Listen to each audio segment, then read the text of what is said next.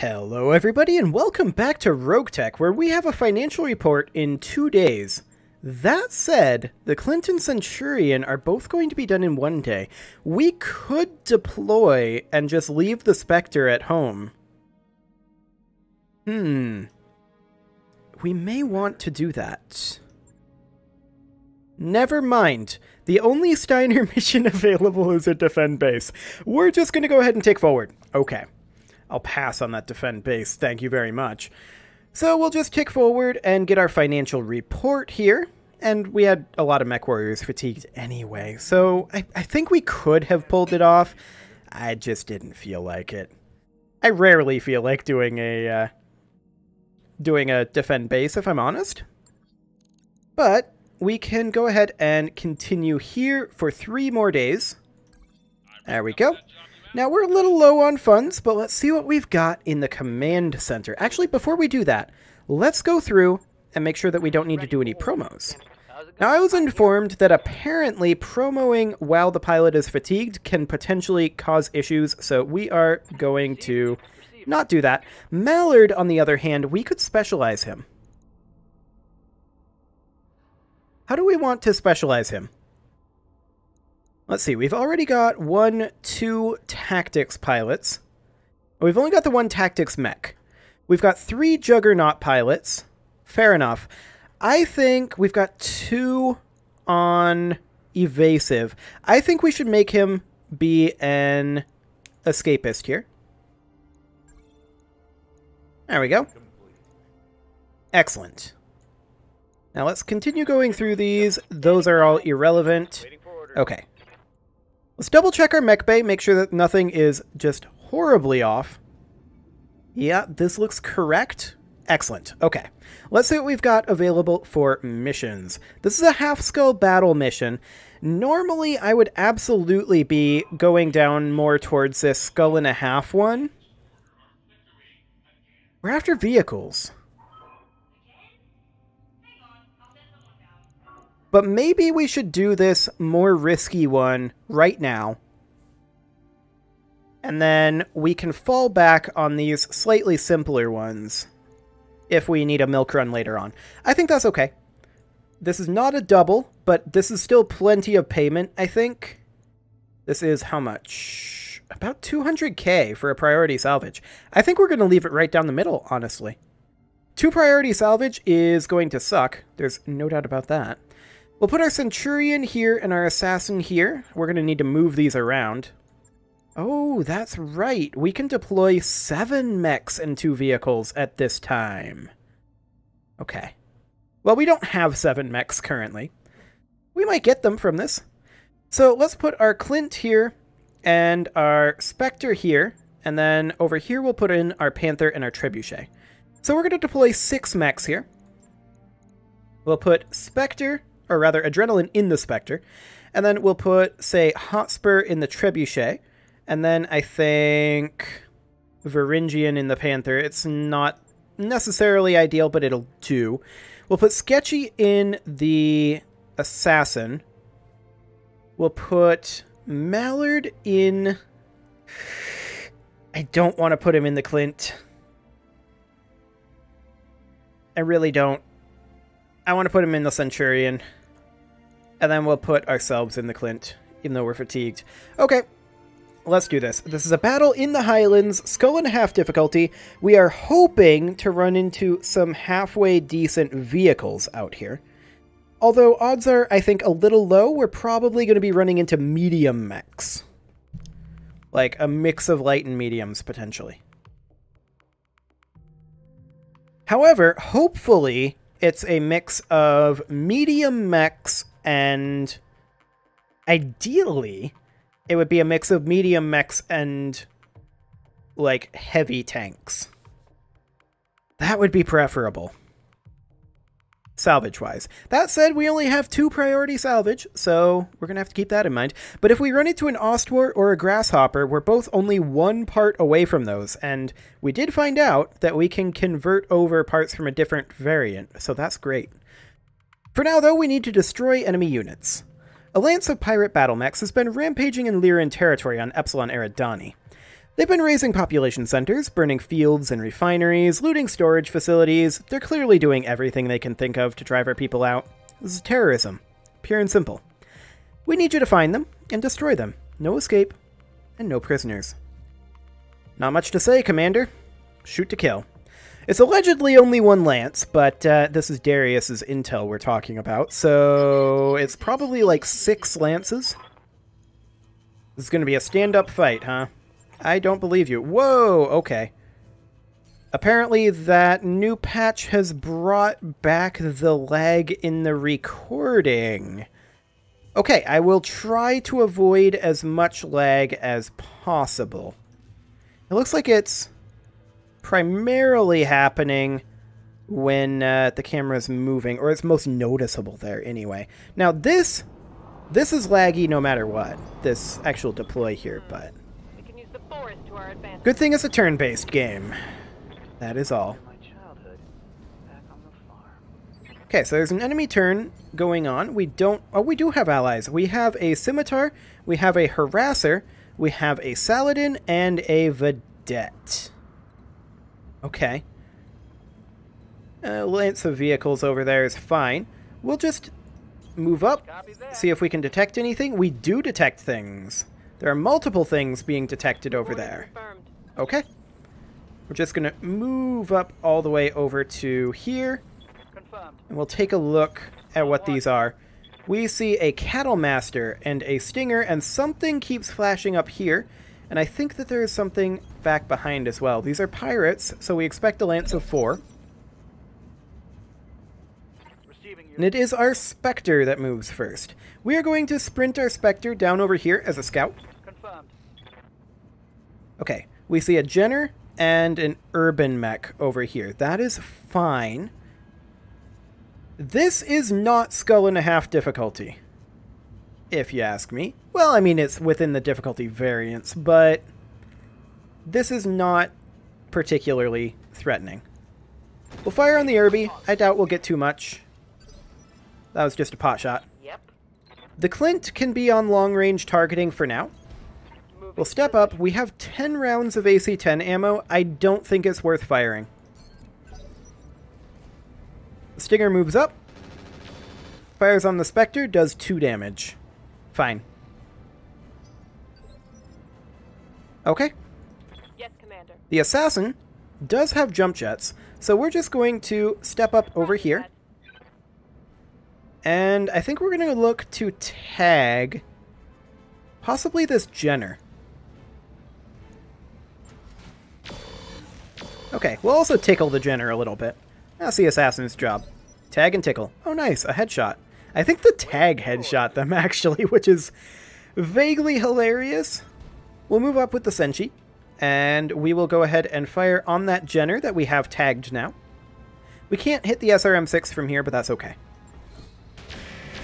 Okay, we hit one of those large lasers. We'll take that. I live to serve. The Panther can go ahead and move up to here. I think this is just fine. And we'll fire on the Cattle Master. Maybe we stray shot. Oh, we actually hit. We'll take it. That Cattle Master is running some form of stealth. Just now noticed that. Okay. Noted. I want to position the Trebuchet somewhere like here. So we have a direct LOS on that Jenner.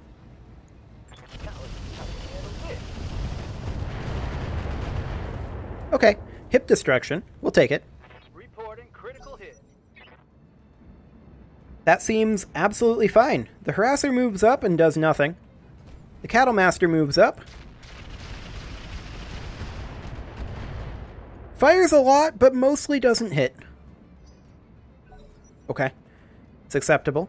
The Vedette does nothing. We expect that. The Urbie fires on the Spectre, misses. We expect that as well. Saladin, not going to do anything. Scimitar, not going to do anything. These are all direct fire vehicles. They are extremely unlikely to do anything while sitting behind a mountain. so, uh, we expect very little from them. That Jenner, however, it just positioned in a very interesting position to me. Ready for orders. Let's take the Centurion down over here, and this will expose the Centurion. But we accept this. The Centurion is kind of acting as bait right now. If they attack the Centurion, that is good. We're going to fire on the Jenner. This is side arc, and this is strong side, but that's okay. Apparently I'm going to punch my microphone. Well, at least something's getting punched, because it's sure not that Jenner. okay, the Clint is going to come around this direction. The Clint may also be an interesting target for the enemies. But we're going to fire on that Jenner. And we're still on long-range targeting, and that's ideal. Okay, we really failed. I'm not too shocked. I missed? Yep, that's what happens. The harasser moves up, does nothing. We are going to... Hmm. Okay. This is less ideal than I had hoped. Oh. I'm a moron. We can just walk around this cliff. Like, we can literally walk in over here and kick the Jenner on the weak side. For some reason, I thought that the cliff kept going this way and we had to jump. But no, no, that is not how that works. Okay, let's get in there. Okay, we missed the melee attack. That's unfortunate, but that's okay. Some damage into that leg. We'll take that.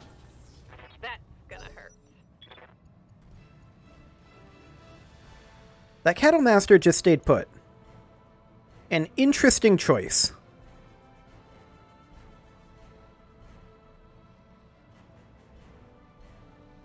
But yeah, these are all light mechs that they've got here. And some of them are very light. They've got a Stinger, They've got a Cattle Master. They've got an Urbie. Like, the Urbie is a halfway decent mech. If you use it correctly. This is kind of not the right situation for an urban mech, but the Jenner is pretty much a straight up good mech. Although I don't really like running mine dispensers on it. But the rest of their mix, not so much. What are they considering right now? They've been thinking for a long time. This is phase 16. This is Bessie.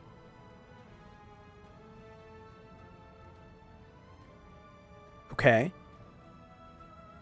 But Bessie already moved. Bessie just stayed put and, like, braced. Did the game bug? I think the game may have bugged. I mean, we can't save the game in mission in Rogue Tech and reload it to see if we can reinitialize it we may end up having to scrub this episode. And by that, I mean just Alt F4 the game and relaunch it, which would suck. In that case, I'd probably just restart the episode.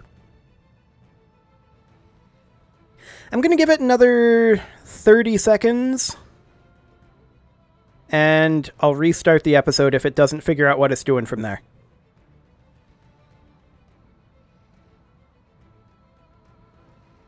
Anything? Anything at all.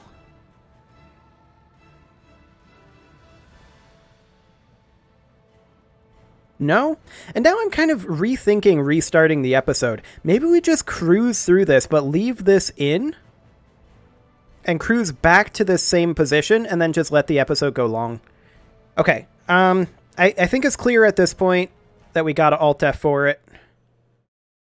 So, yeah, I'm the more I think about it, the more I'm thinking, let's just leave it. We'll see how long it takes to relaunch Rogue Tech. Hopefully not too long. And uh, with any luck, we'll be able to just cruise right on through. And I mean, maybe it'll generate more difficult enemies. That would be that would be an interesting thing. Let me shift it over to my other monitor here. It, Rogue Tech always launches on the wrong monitor, and I don't know why. Actually, Rogue Tech does a save right before you launch, doesn't it? Automatically? I think it auto saves. So I think we'll be ready to launch At least I hope so. Mod Tech always takes a little bit to run. There's no doubt about that. But, I mean, we can always let this episode go a little bit long if necessary. Like, honestly, that wasn't a particularly interesting mission, but maybe it'll generate differently this time and be a little more interesting. That would be nice. And hopefully not bug out this time. Maybe restarting it will fix the capture FPS as well. Can be fingers crossed on that one. That seems to be worst when you launch the mission, though, and just smooth out as you go along, I was noticing.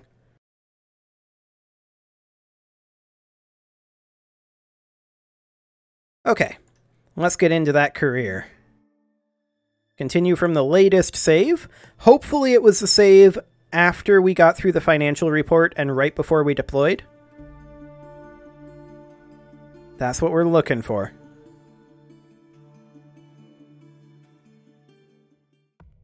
Okay, now this load can often take a little while as well. I wouldn't blame you if you skipped ahead a little bit.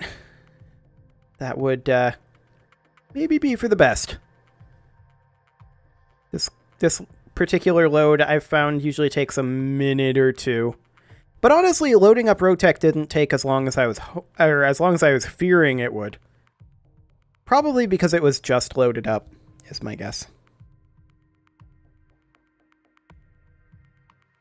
Yeah, repair costs of armor does indeed vary depending on type and mech tech level. That is true. Only you can prevent friendly fire. Well, that's not true. Enemies can friendly fire too. Am I just gonna... Before you seek revenge with someone, be sure and dig two graves. Fair enough. I'm just gonna read these loading screen tips. I actually love the loading screen tips from uh, from Rogue Tech. They're they're pretty cool. A lot of them are pretty funny. Like the one about the Steiner Scout Lance. I'm a fan. Okay, here we go, I think.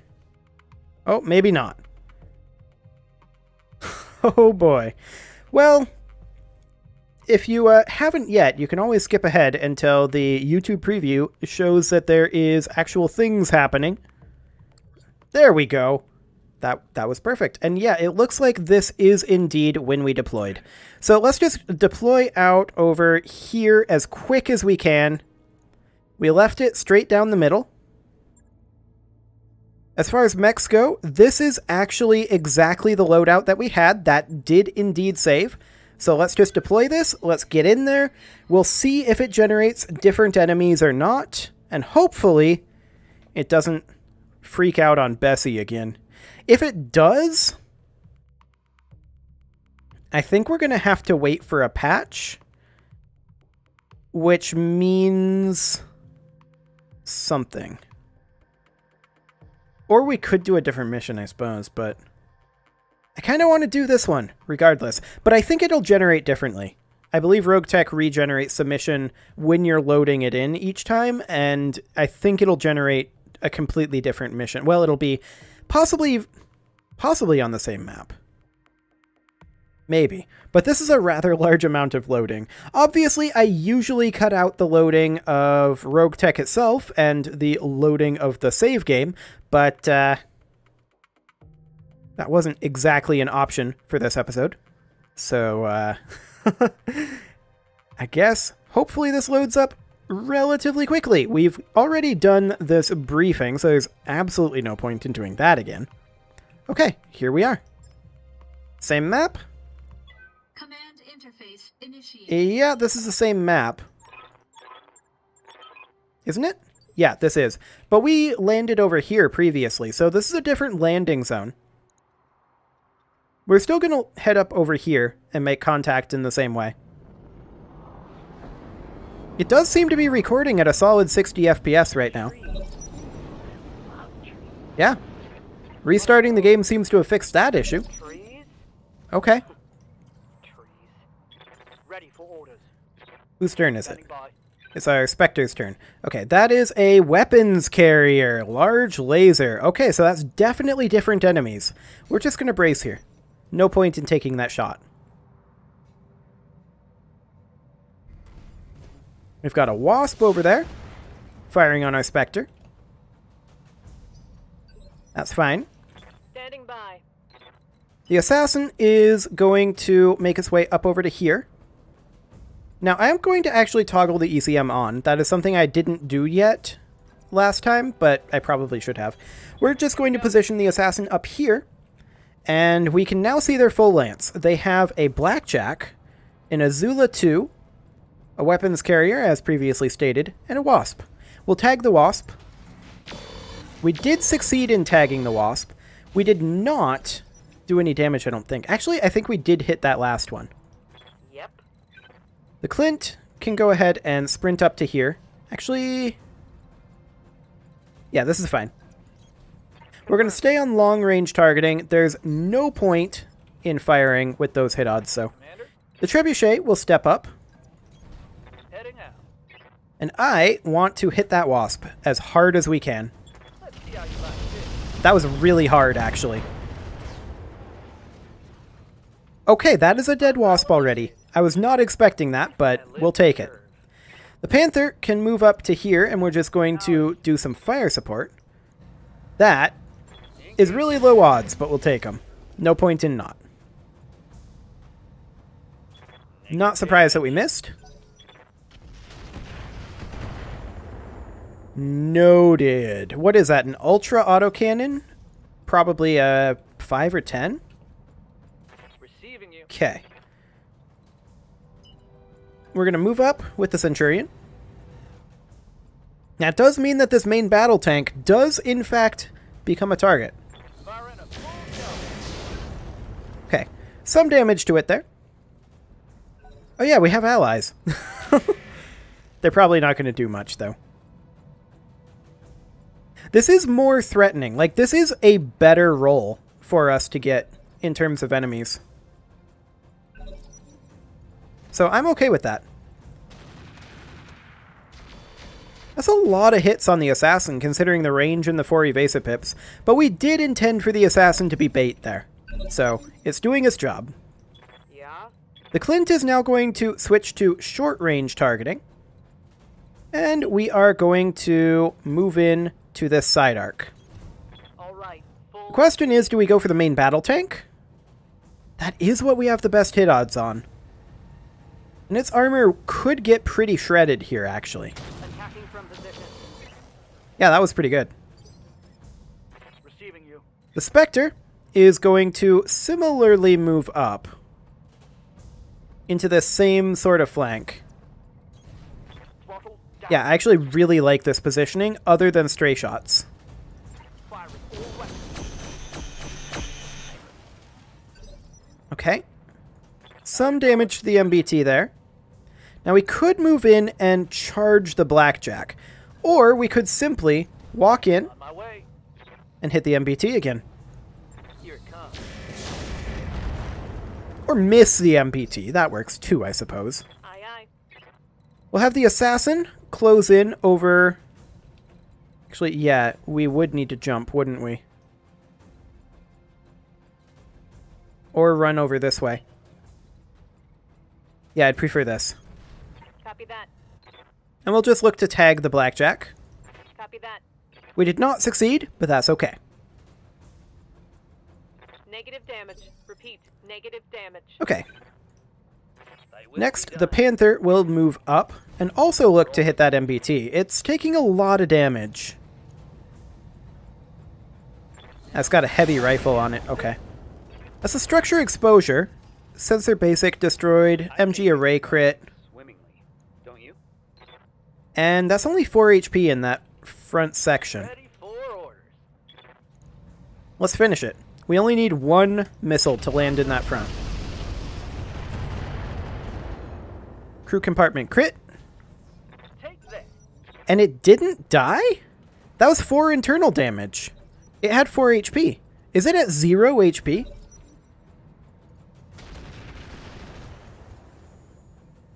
I think it's at 0 HP. Armor loss. Yeah, you shouldn't have had that much armor loss. Unless... We'll check it in a moment. Try to see what happened there. Systems holding. Okay. What happened here? It's at 1 HP. It was at 4 though, and then it got hit for 4. Okay, so good to know that in Rogue Tech, 4 minus 4 equals 1.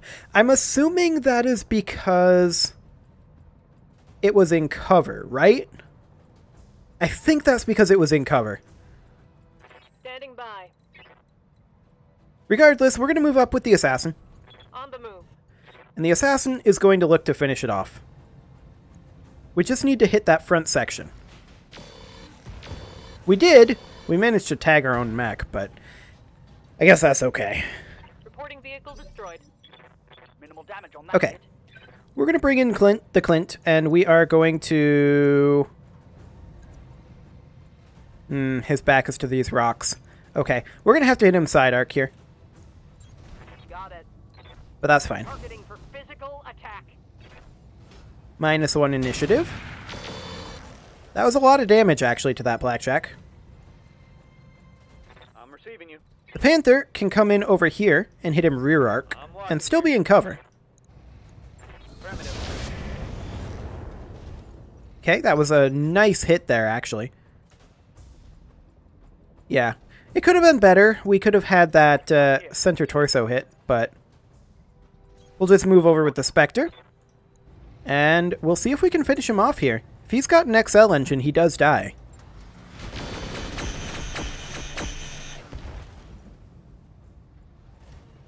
Reporting. I don't believe he does have an XL engine.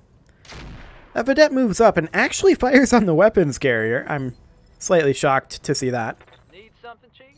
The Trebuchet is also going to fire on the weapons carrier. All weapons go. That thing doesn't have much armor. So it's actually quite close to dead now.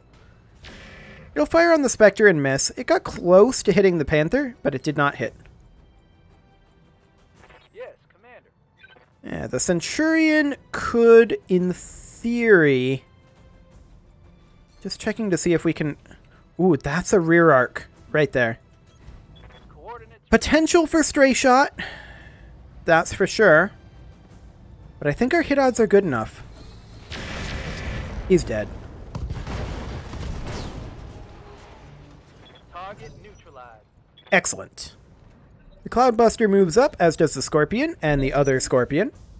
Okay. Yes, Commander. The Assassin is going to just sprint through the flames here, and we're going to look to drop a tag on this weapons carrier. We can also fire the handheld flamer if we were in range, but we aren't. Engaging target. Okay, we did manage to tag him. That's good. He will die as we are closing in. Our ranging shots will do the trick. In fact, the Spectre may straight up kill him here.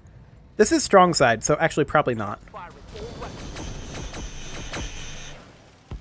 Okay, he ejected. Let's get out of here. That was still not very threatening, but in terms of salvage, the second go round was better. So I guess it's a good thing that the bug happened? Kinda?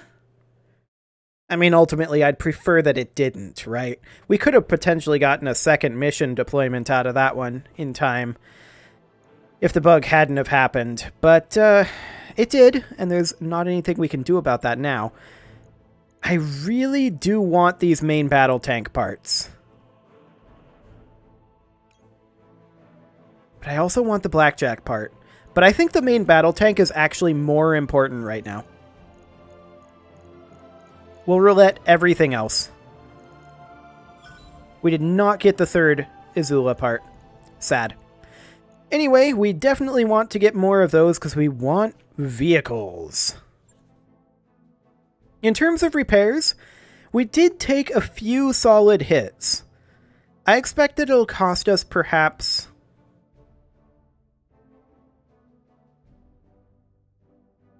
Perhaps 20,000 to repair this. And five days. I wonder how accurate that is. Well, we're about to find out.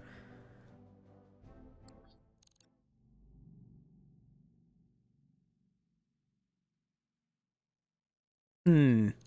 13,000 in three days. Well, I'm glad whenever it comes in under my estimate. Do it.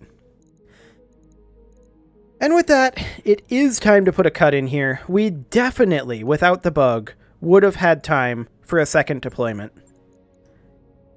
And we could have gotten one of these, uh, one of these done. That said, that does mean that we can probably get both of these done next episode.